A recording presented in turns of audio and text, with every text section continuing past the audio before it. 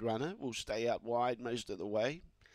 Uh, but they've backed it strongly now into favourite to take over at $2.20 on the fixed, whereas Stitch and Bear is $2.40 on the fixed. Now 210 for Artistically. So They've really come for it late for the late mail. Green light on, no more bets. Thank you. Set to go. Race six, the G6, Nixon's Function Centre. Away, artistically, not that quick away. Pressure from Hayride Florent, but artistically was able to push up underneath it and goes with it. But now Stitch and Bear is presented with that inside run. The favourites have got it between them. Hayride Florence trying to stick with them. Behind though was Dinah Palms, D-Gas and Spring Bruiser going strong artistically. Stitch and Bear's not making any impression at all and artistically brings up a double for Kim Johnston and gets over the late mail followers. Second was Stitch and Bear. Third was Hayride Florent. Fourth looked to be Dinah Palms in front of D-Gas and Spring Bruiser at the tail end of the field.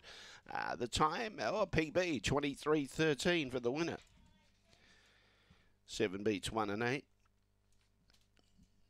Getting used to the circuit more and more with every race artistically. Handled box seven.